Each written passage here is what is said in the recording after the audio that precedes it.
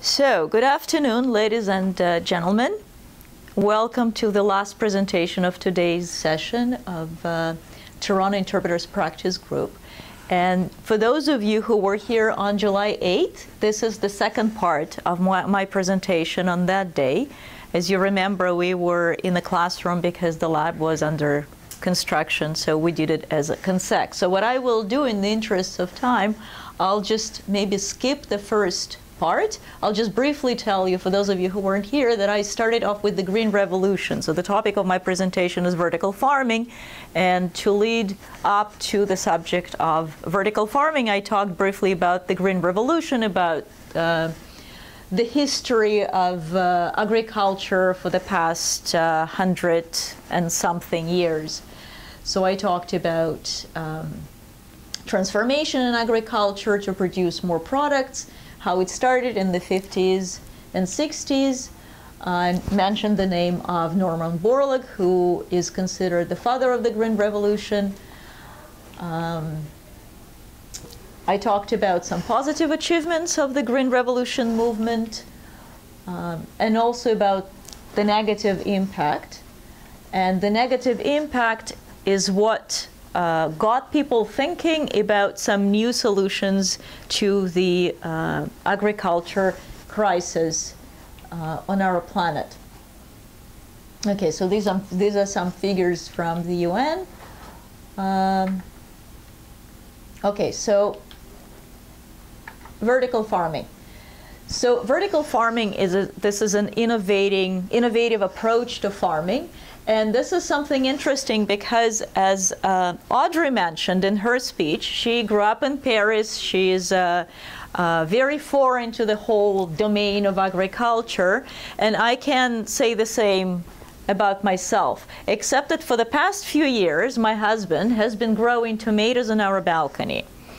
And he is completely fascinated with the process. So I can say that I'm a farmer's wife in a way. So he grows um, flowers and tomatoes. And it's, in a way, it's a vertical farming because we do it in the city, indoors, in our own space. So I, I, I kind of I can relate more to this subject now than I could, let's say, five years ago. Okay, so vertical farming, this is the picture, this is public access, I didn't steal anything. So this is a vertical farm from the outside. This is a hangar in uh, New Jersey in the USA. And the, uh, it, it, covers the territory of 7,000 square miles or 70,000 square feet of floor space. So this is a farm. This is a modern farm.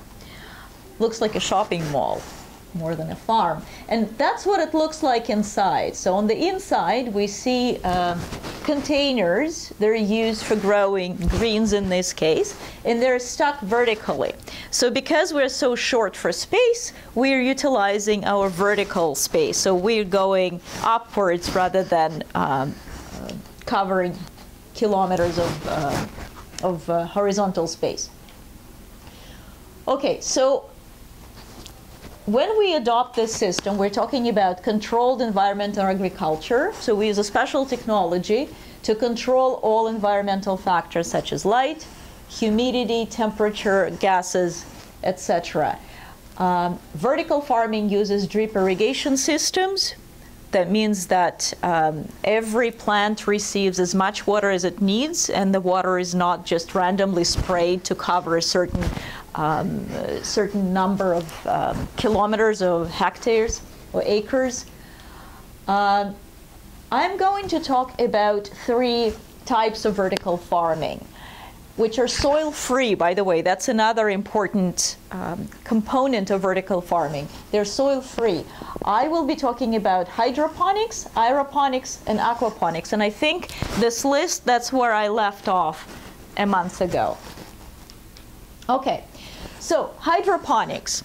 Hydroponics means that plants grow in a mineral nutrient solution in a water solvent instead of soil. And this solvent can be static or it can be um, in the form of a continuous flow.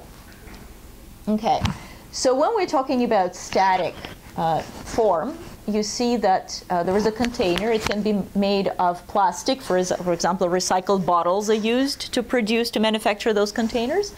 Uh, it can also be made of concrete, glass, wood, etc. So you see there is no soil inside the container. There is just a nutrient solution, and the roots are immersed in this solution. And um, of course, the, the, the solution has to be changed regularly to avoid um, bacteria. Okay.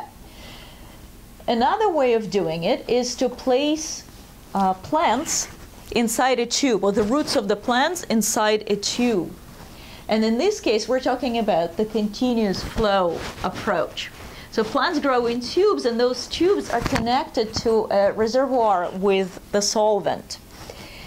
And it's actually a very neat idea, and I'll try to explain it to you in my, my own words, the way I understood it. So it's a very simplistic picture. But what happens, so you see two containers. So at the bottom, right here, you see a nutrient pump, and that's where the nutrient solution is, um, is, is created first. So this device pumps this nutrient solution up into the pipe. Um, so the pipe is at an angle, and the solution flows past the roots and then drips back into the container. And on the right side, you see this is an air pump. I don't know if you can read from there, but that's what it says. It's an air pump that supplies the solution with oxygen, and the process, the cycle begins again. So again, it, the nutrient pump pumps it up, and uh, so forth. So there are several variables uh, to regulate in this process to achieve the best results, such as the depth of uh, the solution, the, the um, flow rate, and the slope angle. But this approach is better because it prevents the growth of bacteria. Oh, sorry, you can't hear me.